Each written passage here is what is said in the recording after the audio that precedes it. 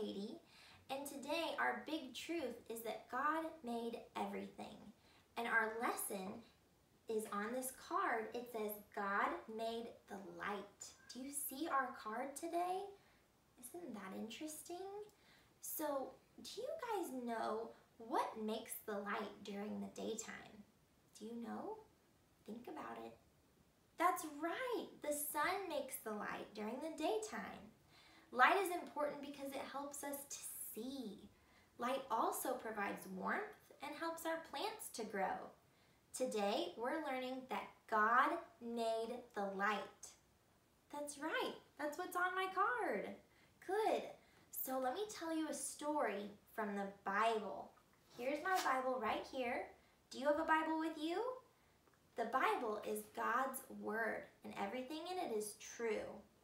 A long, long time ago, everything was dark. The darkness was peaceful and quiet. Darkness helps us to sleep and rest. God wanted to make a beautiful place for us to live. And in God's book, the Bible, we can read what God did to make our beautiful world. I'm going to read to you from Genesis chapter 1, verses 3 through 5 in my Bible. And it says, Then God said, Let there be light. And there was light. And God saw the light, and that it was good. And God divided the light from the darkness. He called it the light day, and the darkness he called night. So the evening and the morning were the first day. The Bible tells us that God made the light. It was the first thing he did so that we would be able to see the beautiful world he was creating. God knew that the light would help us to see his love for us. Someday, he would send his son Jesus to be the light so the whole world could experience God's love. Now, I want you to do something with me. We're going to see what happens when we turn off the light in our room. Are you ready? We're going to turn it off just for a few moments and see what happens. When we turn off the light, we can't see very well, can we? But when we turn the light on, we can see. Can you see your hands? Let's clap our hands. Ready? Good. Can you see your feet? You can't really see my feet. Ugh. You see your feet? Let's stomp our feet. Stomp, stomp, stomp.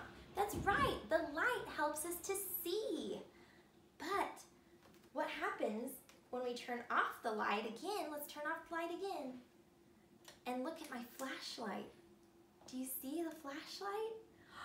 The flashlight it helps us to see too. We are so thankful that God made the light so we can see.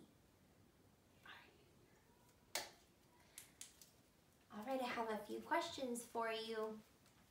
You guys, how does light help us? I said it.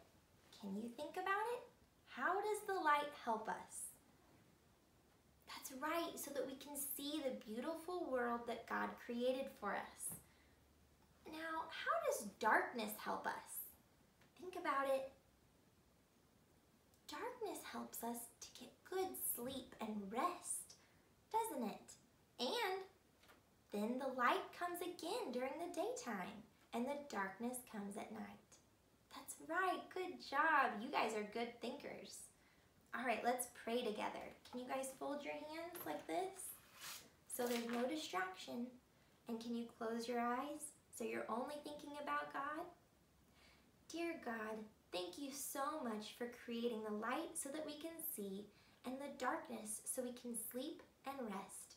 We love you, God. Thank you. In Jesus' name, amen. Thank you for listening, Puggles. Goodbye.